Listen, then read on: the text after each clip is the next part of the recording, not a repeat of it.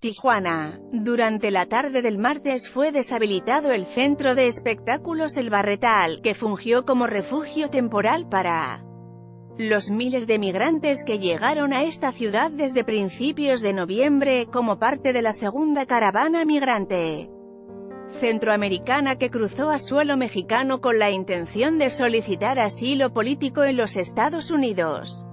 De acuerdo a Estimaciones del representante del Instituto Nacional de Migración, INM, en Baja California, Rodolfo Figueroa Pacheco, hasta la tarde del miércoles. Continuaban alrededor de 80 migrantes al interior del barretal, sin embargo el espacio había cumplido ya su periodo temporal de apoyo. Por razones humanitarias, México recibirá migrantes repatriados por EU. Yo tengo entendido que ya son muy poquitos y... Estoy seguro que si no se cierra hoy se cerrará en los próximos días porque hay muy pocas personas para... El tamaño de las instalaciones, expresó Figueroa Pacheco.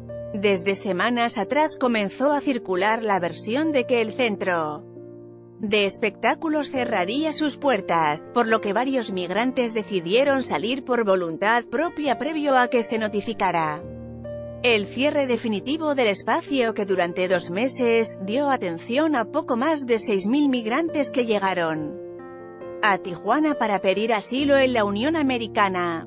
Ante la llegada de una tercer caravana, Figueroa Pacheco aseguró que la situación migratoria que se vive es diferente al previo éxodo que llegó a Baja California, ya que las familias centroamericanas que han ingresado por la frontera sur, cuentan con documentación y permisos de internación expedidas por las autoridades de Migración Mexicana. Sociedad Sánchez Cordero supervisa atención a migrantes en frontera sur Sociedad Coparmex Ciapas rechaza apertura a caravana migrante.